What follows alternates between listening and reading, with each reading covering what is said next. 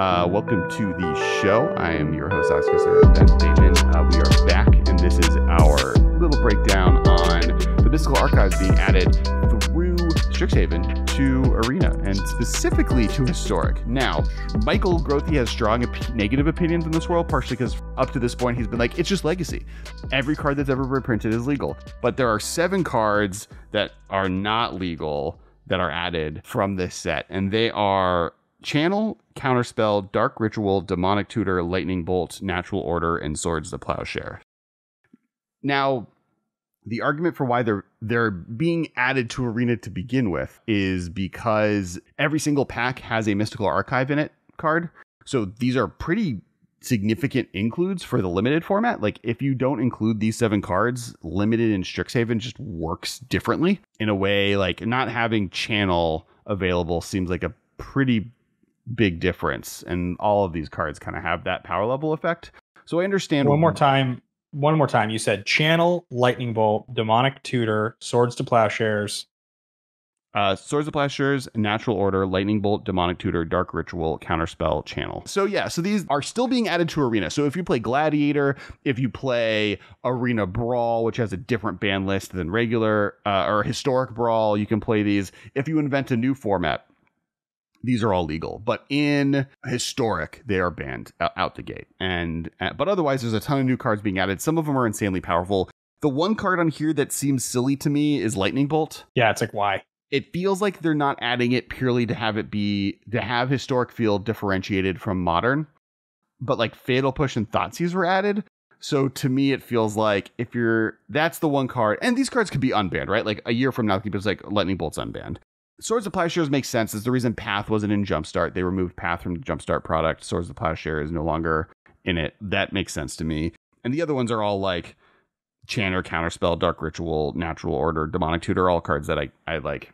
Channels like insanely powerful. Yeah, yeah, yeah. I mean, like channels. I, I mean, I think I think most of those are very smart. I think, as you mentioned, Lightning Bolt's the one head scratcher that's just like. I mean, uh, well, I don't know. Maybe it maybe it supercharges in a way that they just don't want. I guess I understand that. I think I think they want three, four, and specifically five drops that have three toughness to be playable. And Fatal Push like can't hurt creatures that are five and bigger. I think that's where they see the difference. Is that that's the only thing I can think of? Is that Lightning Bolt scales better to more powerful things? Just add Lightning Bolt. Lightning Bolt's so cool. I don't know. That's where I'm at. Unban it. That's the only card there uh, that I see. Beyond that, though, there is an insane list of cards being added to the format, uh, including Inquisition of Kozilek uh, is being added, which is fascinating. To include, but I think like the Storm cards to me, Fa- Faithless Looting is being added to Modern. Like I'm going to play Arclight Phoenix decks tomorrow. Yeah, I know. Like, That's crazy, right? Mana Tithe. There's like I think where's the where's the Grape other shot, one? Grapeshot, Tainted Pact. I think regrowth, not that it's like on the power level of some of the other cards we're talking about, but I just think regrowth is a great card. Lightning Helix getting added is a big deal. Ten- tendril, Tendrils uh, of Agony is the other one that I was like, what? Oh, and Brainstorm. Brainstorm's being added. you can play Brainstorm in Historic. Crazy. Chaos Chaos Warp is getting added. Mm-hmm, mm-hmm. I think yeah. To me, to me, like Brainstorm, Memory Lapse being in it as a counterspell is also a big deal. Yeah, there's Mind's Desire is another card that's being added. As far as storm cards, you have Tendrils, Grapeshot, and Mind's Desire available in this format. I like released Dude, Teferi's Protection. That card's so good. Yep. that yep. card's insanely good. This was my point like earlier, like when we were talking about uh magic arena i don't want to buy a deck I, like i could play whatever deck i build is going to be so drastically altered by like three of these cards being added. If Strixhaven wasn't added to Magic and only three of these cards were added, almost any three of them, any five of them I will say, could like alter alter historic from face value. I'm super excited. It, it, feels like they wanted. It's weird that they wanted Storm on Arena. Like that's the decision they made. They were like, you know, we just let's just put Storm. Like the fact that Storm is legal. The, the someone wrote, wrote, a really good joke. Like it's not the Storm scale anymore. It's the Bolt scale. The the Storm scale is the is it's the keyword mechanics, right? It's the level of power. Storm is the most powerful. It, is the not, idea? It's not power level. It's likelihood to be reprinted into standard. Got it. Right. It's Mark Rosewater's list of cards that are likely to be reprinted in the standard, and Storm is classically the top of that scale. And the I think the only cards that are above Storm are like like ante and banding or like weird stuff that just doesn't work anymore. But in historic, Storm is being added before Lightning Bolt. Yeah, it's like Storm, Dredge, Delve, like mechanics like that. I think the Mystical Archive is completely insane. I think it's crazy how many cards are getting added all at once, but I also think that more than likely, I mean, this is this is what this says to me. What this says to me is that they remember a time when modern was introduced and people were excited and people started to invest time into playing modern and it became super popular. And then they look at the post the, the sort of post hiatus that we've all been on here and they think about the way it's going to look and that probably people will return to playing paper modern. But what if the format has slowed down? What if it's slowed down because people find it less interesting for whatever reason? Well, I think what this signals to me is that they're interested in historic having a an actual chance at feeling like modern. Because you introduce this many cards to historic, it's going to feel like modern. The, Mhm. the- like there's already enough powerful cards in historic as it is. You introduce this level of power to historic, I think that historic is going to start to feel like modern pretty fast. One one thing I think that is cool about this is is the split between cards in the Mystical Archive. Like there's like staples of every format, but one of the things they definitely did were staples of standards of the future. And by that, like like Michael, when they first revealed the opt, talked about this on the podcast, where it's like. If I get four ops, this is my ops forever. Every standard deck I ever have, I'm going to use these ops. If I get these lightning bolts, I'm going to use these lightning bolts. If I get these Village Rites, right? Like if I have this Village Rite, I'm gonna have four of them. And anytime I need Village Rites and standard moving forward, I'm gonna use this sweet copy of it. There's like a lot of like very obvious cards. Shock is another good example. Duress. These are cards that they're just gonna reprint negate. forever. Yeah, negate. Like the like eliminate is gonna be in standard again.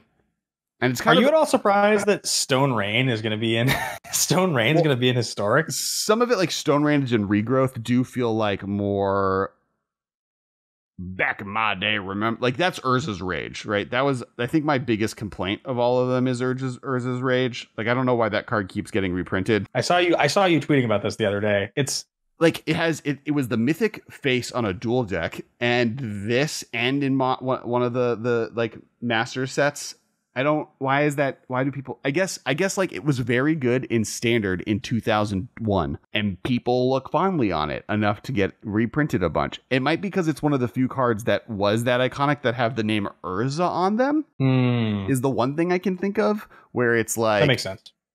you can't there's no other like but like Urza's like a lot of old Urza's cards are bad. They're the lands, which are hard to reprint because there's three of them and they're too good often if you reprint them into a format. Urza's Rage is like just generically boring enough that it's but good enough that you can keep reprinting it, I guess. Meh. Meh. The artwork's also amazing. It like the my biggest I think my biggest complaint about this whole situation is that between these and the Japanese versions, which are all some of the most gorgeous cards probably printed in Magic history, I don't have enough money for these cards to exist. And I'm so yeah. I, I want all of I want four of all of them, and I can't. I don't want to pay. I don't have the money for that. So is the deal that the Japanese printings are if you buy the Japanese language packs, this is what you get in those packs, and if you buy the American ones, this is what you get. What if you buy French? What if you buy Italian? What if you buy? you get them. You get, you get the you get the regular ones. It's only the Japanese ones Correct. that are going to have these. So So those are going to sell out crazy fast, The right? Japanese box, boxes will sell out really fast. Uh, obviously, if you go to Japan, you can just get a box. The one thing is, so this is actually something I like was wondering because for the last three years, the spring set has a special Japanese type of promo situation.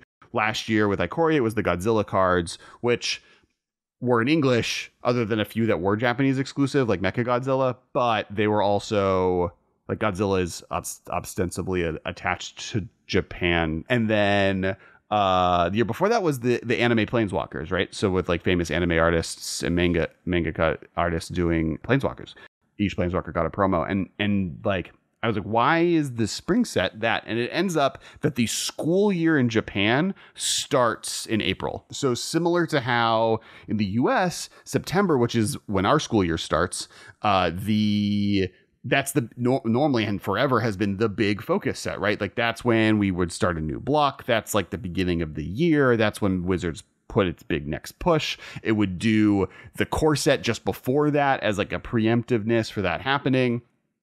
That's when rotation would happen. In Japan, the new school year starts, and, and Japan is is I think the second largest by density group of Magic players uh, in the world. So it makes sense. It also like for shows I'm watching, uh, I was like, why they like new new years start at weird times, and I was like, it's spring. Why? And now I understand. Uh, in Japan, the new school year school ends in March. They don't have like a summer vacation. School ends in March, and the next school year starts in April. So yeah, that's what that's why these promos are happening. But yes, so similar to the War of the Sparks ones, every Japanese pack will have one of these promos in it. It will be the the alternate style.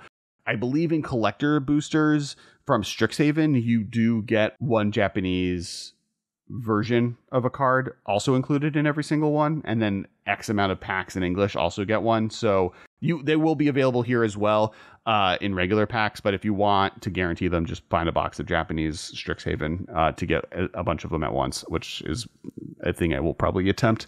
Uh, or just buy all the singles I want. I just don't. I I have decision fatigue. I don't know which ones of these I want. I just want all of them. It's crazy that there are so many cool versions of so many iconic cards now that like if you're trying to get a cool non like traditional version of a sweet card, there's just like a million things to Oh, choose. I'm glad I didn't pre-order much of the old border stuff. because you got you opened like all of it. No, because I'm gonna spend that money on these. These are way cooler. I'm also excited for them to be added to historic. Uh, as I said, I think like I just want to play Faithless Looting. Give me a format I can pay, play Faithless Looting. I'll play it. The fact that I no longer can play it in modern makes me sad. The fact that I now can play it in, in historic is dope. We literally last week went on a whole conversation about how our preview card like really leaned into a cool Mardu Pyromancer with Magecraft. There's a, a bunch of other cool Magecraft cards. I think you could do Mardu Pyromancer in historic. You don't have Pyromancer. Yeah, I mean, you but have no, you do. You have Young Pyromancer oh yeah, you do. You do now, right? They added it. from one of the anthologies. I think the second Yeah, anthology yeah, had yeah, yeah, Pyromancer. So yeah, so you could just make Mardu Pyromancer. I think it has every card because it, it has. Does it have Bedlam You Riddler? have Is not even a key Thoughtseize. part. You, you got Thoughtseize. You You, have Inquisition. You don't have Lingering Souls. Is the one piece you're missing? True, You right? need to add Yeah, Lingering ever give us- Souls. Wizards add Lingering Souls to Historic. I'm gonna tweet that right now. And then someone's gonna be like, "It's there," and we're gonna be like, "Marshall, edit this out of the podcast." while uh, while Alex is doing this, because I think we're going to wrap up this. I think we're going to wrap up this section and get into the next section of the show. But before we do, as he is tweeting that, I want to do just a quick reminder to everybody here. I've been talking about this last few weeks, but uh, by the time you hear this, I will have released my first song for my album. It's coming out this summer. I'll be on tour in August, so hopefully I can meet some of you guys if any of you want to come out and hang out. I'll be putting the full album out in June, and the first song is available on Spotify, on Apple Music, on Amazon, all the various places you can get it. So you can follow me on Twitter and see. I'm sure I'll be posting about it, or you can just look it up on Spotify. This has been a production of Time Traveler Media, sending podcasts into the future.